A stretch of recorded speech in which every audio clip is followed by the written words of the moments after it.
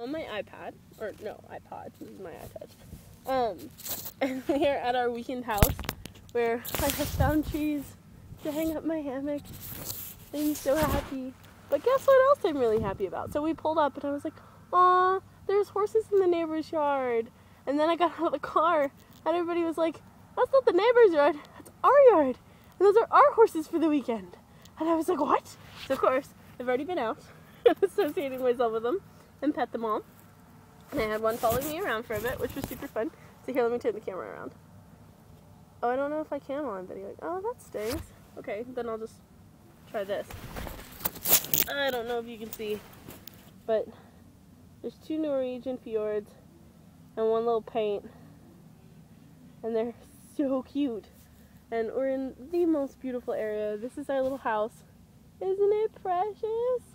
Little little uh, old cottage, French cottage, and then there's some other little buildings on the property. One is apparently like a a gameskeeper house and a stable, and then there's like um, an open barn in the back that has a ping pong table and hay and I don't know. I haven't explored it enough yet. Um, we've only been here. I've only been here like 30 minutes, maybe a little longer. Uh, everybody else has been here for a little bit longer than that. They came on earlier trains. Um, I had difficulty getting a ticket but I made it work. There's trees all up and down the driveway, Mom. Can you see? Really beautiful trees. We were driving and I was like, oh my gosh, there's hills. And even while the taxi driver was taking us, I was going, oh look, sharp turns, we're in Kentucky. but everything is green and beautiful and the sky is so blue and I'm barefoot.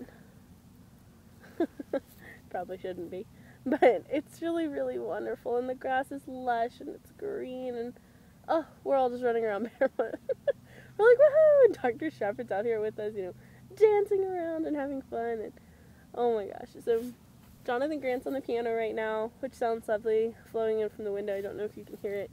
And then uh, other students are playing ping pong, setting up for dinner, um, organizing things in the room, contacting family saying, I'm alive, I'm here.